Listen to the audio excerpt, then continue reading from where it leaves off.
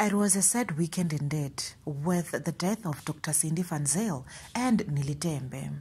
In honor of life well lived with family of Kaya FM presenter, medical doctor and life coach Dr. Sindi have decided to start a foundation. Dr. Sindi was one of COVID 19's latest victims. She was diagnosed soon after the year started and fought the disease till she died on Saturday. Hi, T Squad, and welcome to the T World.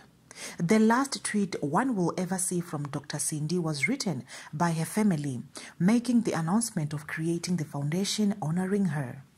She also leaves behind an incredible legacy in the medical support and advice she offered to those around her. A foundation to continue to support the causes that Sindi so passionately believed in and lived out will be announced in due course.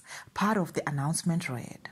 Many have posted photos they had with her or messages she sent them, as well as just recounting the way she impacted their life.